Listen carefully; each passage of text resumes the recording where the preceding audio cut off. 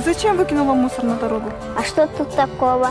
Ну, понимаешь, если бы каждый, как ты, бросал мусор, как вокруг нас было бы грязно и некрасиво. Тебе было бы приятно гулять среди мусора? Нет. Ну вот, и мне тоже не нравится. И другим бы не понравилось. Посмотри, как вокруг чисто. Видишь? Да.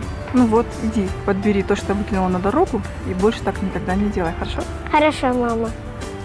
Учите вашего ребенка отвечать за свои поступки и не теряйте взаимопонимания с ним. Приучайте ребенка к ответственности с раннего детства. Это поможет ему, когда он станет взрослым.